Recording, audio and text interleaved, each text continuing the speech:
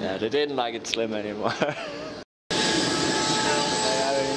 good. How are you? It's to the here. Thank you.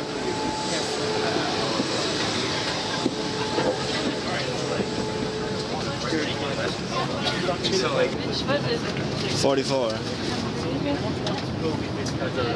For G. Wow, this is way bigger than I thought. Jeg tror, vi var omkring 20-30 personer, men det ser ud til at være mange flere.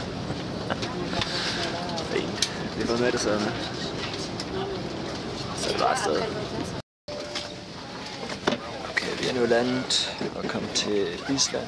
Klokken er 4 om morgenen. Nu skal vi finde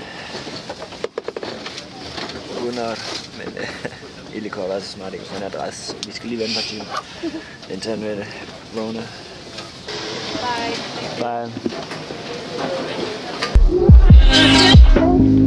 Kom igennem security. Hvorfor går du foran lige pludselig? Så er vi kommet igennem security. Det tog heldigvis ikke så lang tid. Der er også kun et fly, der er landet, så...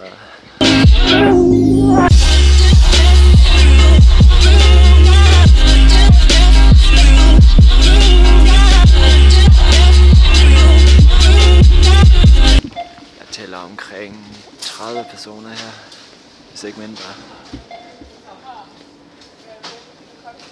Ja, er knap 30. Det er til siden billigere at købe ind her i Lufthavnen, end det er at købe ind ude i supermarkederne. Så vi er på rov nu.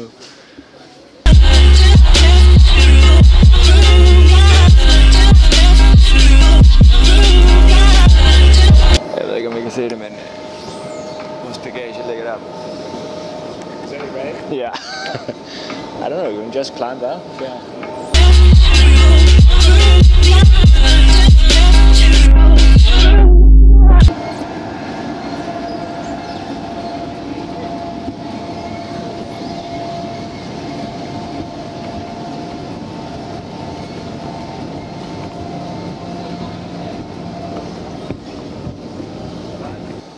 Det tog en hel time før vores bagage kom.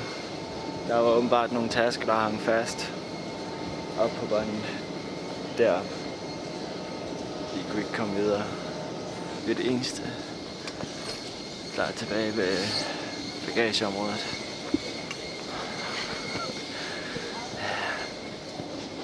Har larmer ikke i hvert fald, det er da sikkert. Right on time. What's up, Buddy. Big hug. How are you? What is up? What is that? Ah, That's, this is uh, to.